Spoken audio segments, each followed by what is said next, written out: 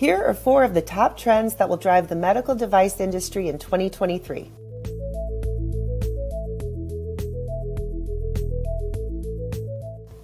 Consumers have more options. Breaking through the noise and getting easily understood product information in front of audiences in a memorable, engaging way is key to building loyalty with your end users. Rapid innovation requires more support.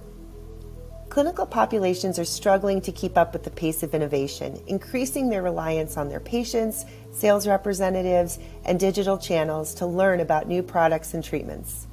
Increased artificial intelligence funding. We'll see personalized apps, robotics, diagnostics, wearables, and more benefit from increased funding and research in 2023. As more of these products hit the market, clear differentiation, a strong consumer engagement plan, and a streamlined commerce experience are all keys to success. Organizations struggle with M&A integration. M&A is very much a factor in 2023, but we still see many large organizations grappling with technology integration from past M&A activity. This is often due to siloed technology, duplicative systems, and tangled processes. But all of these limit truly audience-centric experiences.